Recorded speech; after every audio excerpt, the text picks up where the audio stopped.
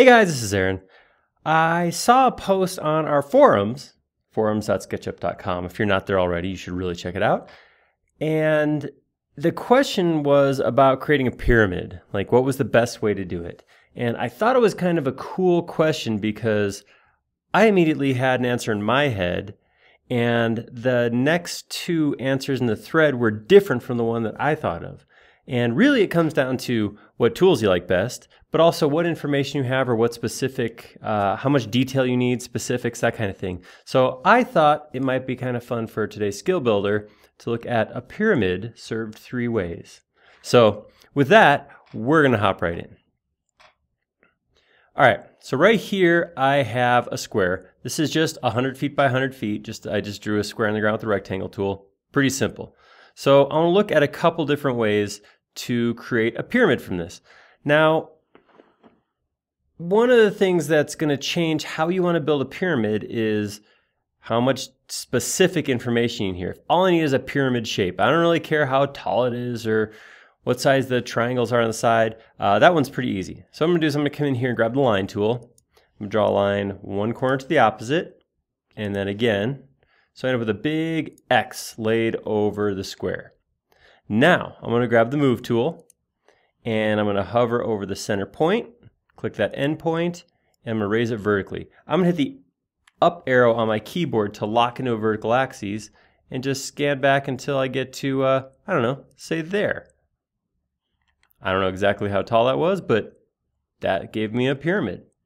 Now, one of the things that this particular workflow does, of course, is gives you a hollow pyramid. There's nothing on the bottom here, so I would need to come over here and just draw a line on one side to close up that pyramid. I also have my pyramid inverted right now. These are inside faces facing outside. So one thing I'll one thing I want to do is triple click, right click, and reverse faces. That's going to give me the right side out on all five sides. So that's the simple solution. That's number one. That's using the move tool to pull that straight up. That one's simple. All right. Not that any of these are complex. I shouldn't say it's simple like the wait till you see what happens next. No, this is this is a, a, just a different method.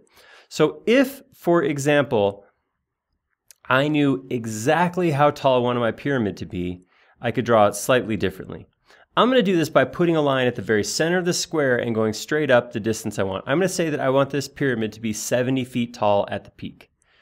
So what I'm going to do is I'm going to use some inferencing. I'm going to come to the middle point right here and drag across. No clicking, just, just move my mouse over. That gives me the middle line right there. I'm going to come up to this top line, find the midpoint, and start pulling that down the green axis. Again, no clicking, just hovering, and then as soon as I find the point where they both meet, I'm going to click right there. Now I'm to draw a line on the blue axis as long as I'm going up like that, and I'm going to type in 70 feet, enter. All right, that gives me my four sides and the spot that, that I want the triangles on the sides to come up to. Now it's just a matter of connecting that center point to each of those sides. Now I have a, I have a uh, pyramid that is exactly 70 feet tall. The I don't want to use the term issue because it has negative connotation, but the thing I need to remember now is when I drew that, I did draw this extra line on the inside, so I may want to come in here, peek inside, delete that. And now I have my five sides.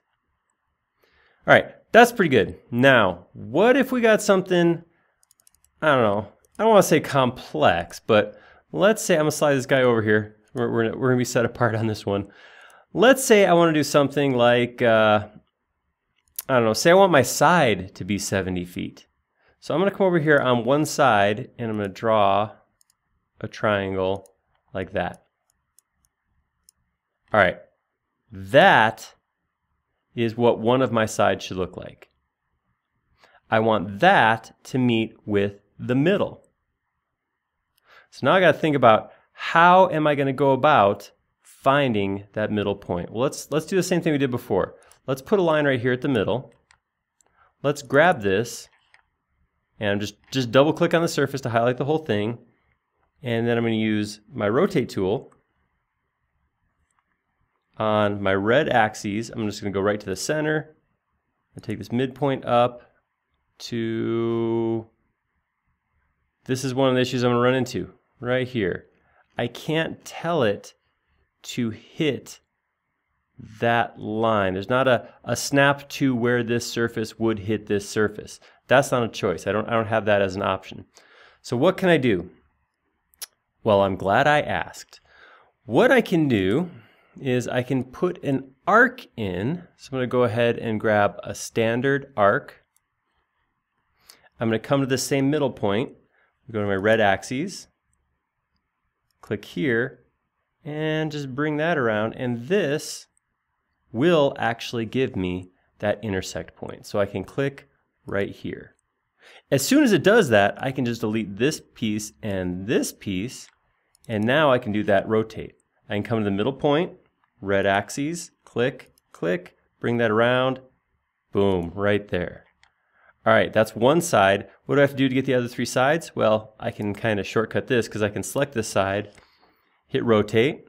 I'll use the same point, that middle point of the square, and I'll say I want to move it from this point to, uh-oh, got to hit my modifier key to copy.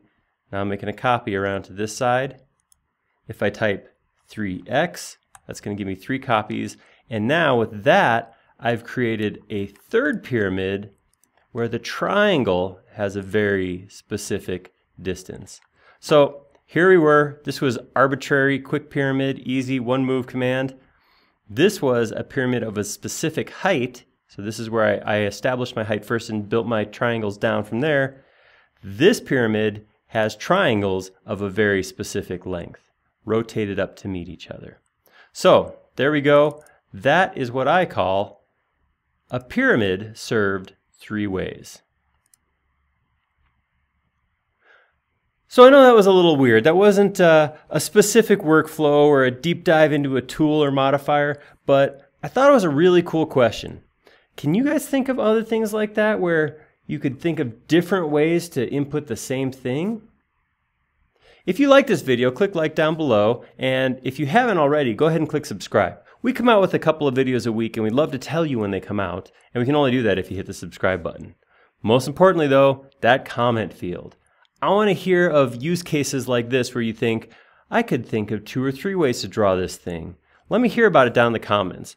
Or if I missed one, if there's actually four ways to draw a pyramid, tell me about that too. And of course, if you have a good idea for a skill builder that's totally unrelated, Tell us all about that. We like making these videos, but we like them a lot more when they're showing something you want to see. Thank you.